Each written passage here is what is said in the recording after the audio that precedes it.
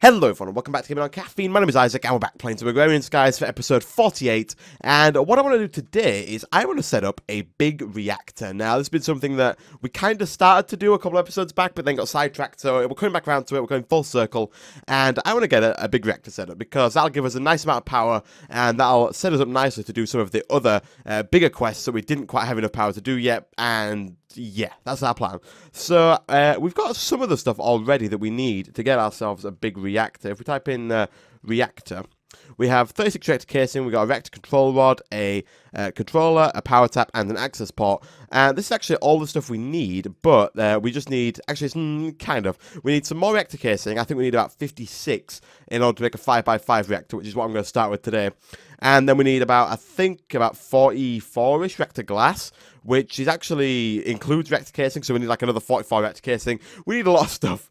Um, we also need a bunch of hardened glass, and what I've done between last episode and this one is I've set up the induction smelter here. I took down the uh, redstone energy cell and put it beneath this because uh, we didn't really need it up here. And what I've done here is I have taught my ME system how to craft hardened glass. And all I did was I said uh, to the, I've put uh, an ME interface above this, pointed it down towards the uh, smelter and said that if you put two hardened, if you put two, uh, two lots of pulverized obsidian, which is eight pulverized obsidian, and one lead ingot in there, you will be able to get back two hardened glass. And I also taught that this is uh, to make pulverized obsidian, you put obsidian in there. And lead ingots, I think we already had lead ingots, but I did also teach the system that uh, blocks of lead turn into nine lead ingots because most of our lead is in ingot form. So if we have a look, I think we have about 12 hardened glass, yep.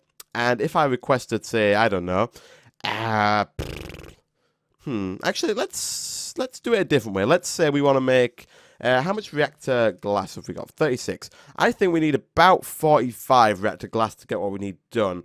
Um, let me think about this. 9, 18, 27, uh, 36, 39, 41, 42. Yeah, about 45 should be fine. So if we can get ourselves 45 reactor casing and then teach it that two reactor, uh, one reactor casing and two hardened glass makes a reactor glass, then I think we should be pretty good to go. So uh, we've I've been making some steel over here because uh, reactor casing does indeed need some steel. How are you doing? Not very good. Uh, I didn't realize actually that uh, in order to make uh, steel, you had to use charcoal in this thing. So I'll grab some charcoal. Uh, you have to use gunpowder, redstone, sand in this order. If you don't put it in this order, it just makes iron. I realised this where I've got iron here. And you have to use charcoal. You can't use coal in this, which is uh, I thought was kind of odd. Uh, anyway, we can take that. We can take that. We're almost at another uh, another block of steel, which is nice. And I think we should possibly be able to make uh, what we need. Do we have any graphite? Uh, we do. We've got a ton of graphite. Okay. Let's make all that steel, and then let's go for some reactor casing. Okay. Boom. Nice. Okay, we've got 20 reactor casing. Okay, so if we want to make, say, 45 reactor glass, all we'd have to do is actually, let's, instead of that, what I'm going to do is I'm going to do something different. I'm actually instead going to set up the reactor and then I'll cut away and I'll make a bunch more reactor casing and then we'll turn that into reactor glass. So, uh, where do I want to set this up? Uh, doo -doo -doo I'm thinking probably underground somewhere where most of our other stuff is, but I don't know where we've got that much space. Um, could put it over here somewhere, I guess. Let's have a look. I need to eat some food. If I don't eat, I'm gonna die. I'm gonna die. Is my sound off? No, it's not. It's just oh god, I thought that was falling. Then that was uh, that was quite something. Uh, it feels like it sounds off. It's really quiet. I hope it's not that quiet for you guys. Uh, let's put this. Doo -doo -doo. Actually, hmm. No, we'll put it. We'll put it up. We'll put it up top somewhere. Up top sounds nice. We will put it over. Ah, where do you want to put it? We could put it here, I guess. Kind of an odd place, but we could put it here. Yeah, let's put it here. Why not? Okay, so we're going to need, I'm going to make a 5 by 5 like this. And for those who've never used the Big Reactors mod before, this is quite a nice little uh, tutorial. So basically, you need to make a, a shell, a cube shape of some kind. I don't think it has to be a, a cube. You can make it um, like rectangular if you'd like, but uh, just square shaped. One, two, three, four, five, two, three, four, five, and the outer casing like this has to be made of reactor casing. Now, uh, the, in between this, uh, not the middle, like in between, let me show you real quick. In between this here can be reactor casing, and it'll probably be cheaper, but I think it looks better with reactor glass. But uh, the the outside has to be casing. You can't use glass around the outside. Uh, that's not allowed. It will be not working So fill this up like this. I think the bottom floor there can be glass, but uh, I usually I usually just fill it in with uh, with casing. Again, uh, the only reason I use glass, I think, the only reason glass is there is it kind of looks cool. Uh, you could fill the whole thing up with reactor casing, and it'd be probably a, a more efficient way of doing it. But it looks really cool when you've got like the the liquid flowing inside. So I'm going to break this. I, I usually fill the floor with reactor casing like that. And that's our cube. So now all we got to do is we can put down the uh, the taps and all the other stuff. So reactor uh, controller, access port, power tap, and the control rod as well. We put that down in a second as well. Uh, let's put down these three first. So I'll put down my controller in the middle. I'll put down the access port here and the power tap. So the access port is where you put in the fuel uh, that the, the reactor uses. So in this case, yellorium. You'll put the yellorium in there. You'll get some cyanite back because once it's used it up, it gives back cyanite. That's just how it works. And then the power tap, of course, is where the power comes from. And it says not enough control rods. Reactor requires at least one control rod, control rod to work. And uh, we have a control rod right here. And this guy needs to go in the middle somewhere like this. And this guy is supposed to go above uh, wherever you put your fuel rods. And at the moment, we don't have any fuel rods. So let's have a look. What does it take to get some fuel rods?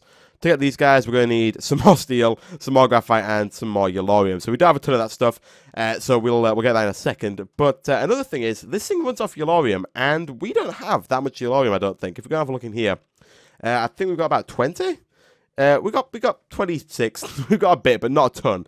Uh, uh, but it turns out that you can actually make it by using pulverized tin and pulverized sulfur. And another cool thing is they've now added sort of like ex nihilo compatibility with this stuff. So now it tells you that if you sift sand, these are the things you can get. And it actually turns out you can actually get yellorium dust by sifting sand. It's a 2% chance, but you can get it. So what I'm also thinking about doing is setting back up, uh, because at the moment we're not actually sifting any sand. We turned it off because uh, it wasn't giving us really... Most of the stuff in there we don't really need uh, if we look back over uh, sand, like a lot of this crushed stuff we don't really need, and the cactus seeds and the spars and stuff, limestone, we don't need most of this stuff, so we stopped sieving sand. But what I'm thinking about doing is setting it up again, setting up like uh, something like I've got over here. This one's producing, is this producing sand? I think it is actually. Maybe. I think it was designed to produce sand. Yeah, because it should be doing... Yeah, yeah, this should be making sand, actually, shouldn't it? Uh, so I might use these, even. And what I'm thinking about doing, though, is getting a vacuum hopper, having them sift through it, but then uh, having a, a, a, trash can, so that everything that's not yellorium gets thrown away, and then we only get the yellorium back, because otherwise we just get a flipping inventory full of stuff. Like, if we look in our, in our system, I bet we have a ton of cactus seeds, don't we? Look, I've got 542 cactus seeds, uh, spores, we have, like, 181 spores. We don't need that stuff. It's just filling up the filling up all this space. We don't really need it. Uh, so that's that. And what I'm going to do is I am going to actually I think we have some sulfur.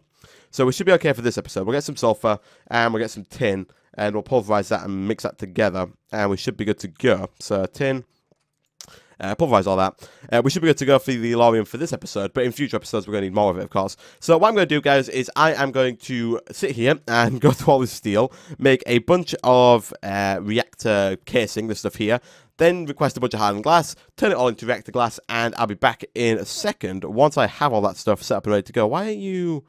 Oh, this thing is so slow. It's so slow. Ah, ah, this could take a while, guys. Can I put... Can I put iron blocks in there? Does that work? Hmm, I might try that. But uh, yeah, I'm going to go away. I'm going to make a bunch of reactor glass, and I'll be back in a second. Alright, so quite a while later, and we have, I think, almost enough hardened glass and reactor glass even uh, to complete this thing. So just a quick tip for anyone using the high oven here, uh, you can actually use blocks of iron, it is a lot faster, and this thing does get quite fast at 2000 degrees, so things happen a lot quicker. I've got 98 steel ingots just sat in there right now. Um, but yeah, it seems to do it a lot faster, and it seems to be more efficient as well, because it still only uses one of each of these, uh, which is quite nice. So that's that. Uh, I have almost enough to, uh, to fill this up. I think if I have a look... Um, in here we should have the remaining hardened glass. We've got eight there. And then reactor glass. Do we have some lying around? Not reactor glass, reactor casing. Um, I'm sure I had some. Let's have a look. It might be in the crafting section of this bit. Yeah, there it is. So, boom, and there we go. Six should be more than enough. So, the way this works now is we've got to put our fuel rods in the middle because this is where our fuel is going to go. So if you made a bigger reactor, or if you want to, I guess you could probably put more in this one. It's uh, quite a small reactor, but you could do, I guess. Um, basically, you have you can have as many of these uh, reactor control rods as you like, and then you put these fuel rods in the middle, and this is where the uh, the yellorium, the fuel, would sit. So the more of these you have, the more fuel you can have in at once, and therefore the more power you can produce at once. So you can put as many of these in as you want. The more the better. The bigger the reactor, the more powerful it's going to be. Uh, I think I will put a link in the description to a um, a spreadsheet that there is, and it just say like like there's some more efficient reactors than others, more efficient like sizes and layouts. Um, but that's not it what you got to put in as well as, as this stuff is you got to put a coolant around the uh, the fuel rods. So there are a couple of coolants you can use. You can use uh, energized glowstone, destabilized redstone, and uh, whatever the ender pearl liquid is. Uh, you can use all of them from thermal expansion. You can even use diamond blocks. But uh, for now, we're going to use water because we're poor. and we could probably use redstone, destabilized redstone, but yeah, it takes a while to cook up. I might switch over to it later on. I kind of want to switch up to diamond blocks because I tested this in single player and it little it literally doubled the amount of uh, power output we got by replacing water with diamond blocks, which I thought was pretty insane. So uh, what we can do is let's grab a bucket. Uh, we don't have a bucket. Let's make a bucket and then grab some water. So what we can do is, uh, this might take a while, we have to run back and forth, but uh, we almost have enough diamond blocks. I think we need about 220-ish uh, diamonds in order to fill this thing with diamond blocks, and we had like 180, I think. So we, are so close, but that would use all of our diamonds up. Uh, it, but the good thing is it doesn't actually use them up. I've just said that, but it doesn't use them up. It, uh, it actually they're just sitting here, and you could get them back at any time, which is quite nice. So as soon as I got that, I should have an unlimited water source that I can just pull from. Let me in. Ah. Let me grab free water. Let me use it. Ah, I hate water. I hate trying to work with it. Come on, here we go. In we go. There we go. And boop. Did that work? No. Um, okay. Come on. There we go. All right. I need to be able to pull it from this block and here. There, there we go. Oh my god, this is horrible. This is... What the heck? Come on. Come on now. You know what? Probably be easier doing this from the top.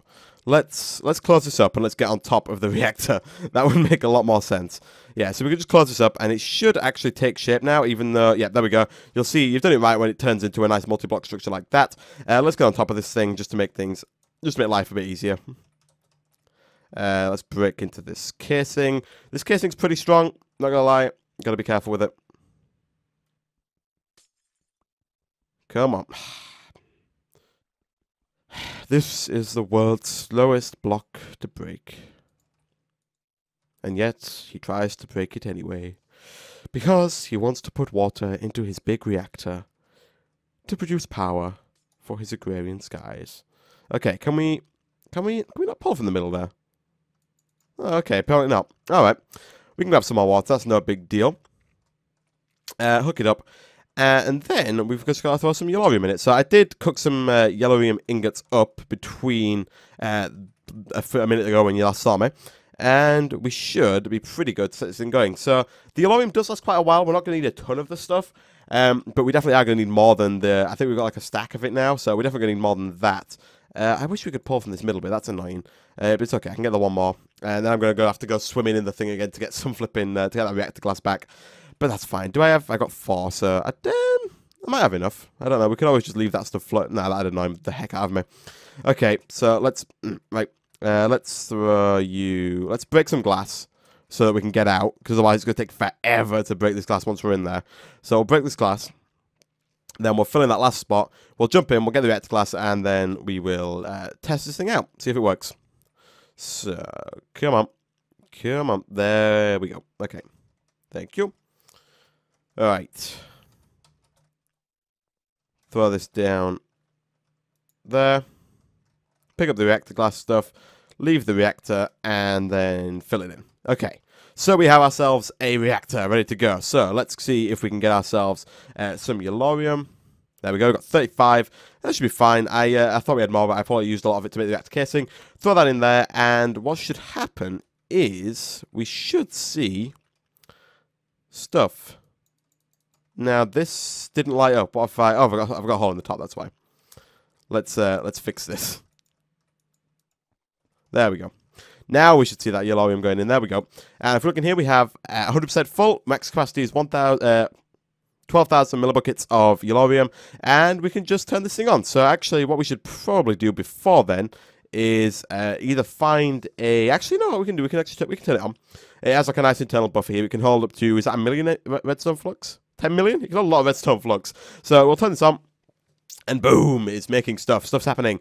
And it produces quite a lot as well, actually. You can see it's producing about 500. I think it says in the 500s. Maybe? Yeah, there we go. Uh, and so there we go. It's producing about 562 redstone flux per tick. Uses 0.084 millibuckets per tick. So it uses this fuel up really quite slowly. Uh, and then the fuel reactivity, 100%. And this is pretty cool. So once we replace this with diamond blocks, it actually goes from 500 to about 1.2 kilobuckets, uh, kilo redstone flux per tick, which is pretty insane. Uh, so you can see it is storing it up in here. We've got a nice supply of power going over there. Uh, how much power are we getting from our, our system already? We have a bunch of uh, magmatic dynamos, don't we? Let's have a look. So these all produce 80 redstone flux per tick, and we have how many? One, two, three, four, five, six, seven. So we've only got 70, so we're only producing about 560 redstone flux per tick from all of those, and then another 500 plus from all of, from that guy up there. So he's producing quite a lot, and all we've got to do to upgrade him is, well, I say all we've got to do is produce like 200 and something diamonds, which is pretty insane. But uh, it'll, it'll last quite a while. It produces a nice amount of power, and we should have a good amount of power to to move on to some of the more power demanding quests, like uh, is it for the hoarding? Might be.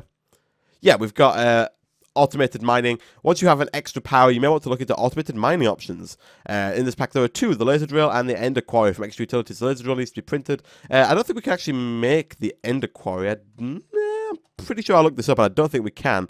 Uh, ender quarry is this guy. Uh, so we need to. Oh, we could, but it's the iridium ore that takes like a decade to find. So uh, yeah, we're probably not going to do that. But we can. What we can do is uh, we can look into getting the um, the laser drill and the laser drill prechargers. How hard are they to make? Laser drill.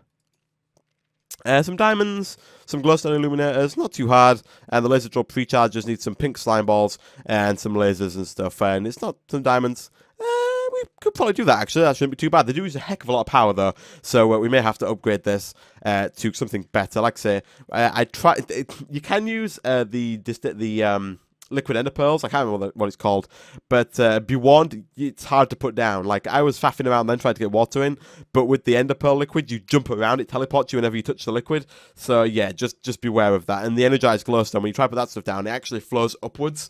So if you put like water, if you put it down, it'll flow down. Uh, energized glowstone flows upwards, which makes it a real pain to deal with. But uh, redstone should be fine. Energy, uh, destabilized redstone should be fine for that stuff. Um, unfortunately, for some reason, our magic forest biome seems to still end about there, just before the flipping mob spawning thing we've got over there.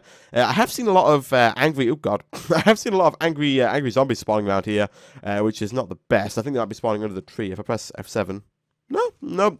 There's no spot where they should spawn, but apparently they still are spawning because it's a magic forest biome, and that's just what they like to do. So, I think I will call it there for this episode. Thank you very so much for watching, guys. If you did enjoy the video, be sure to like, and I will see you next time. Bye!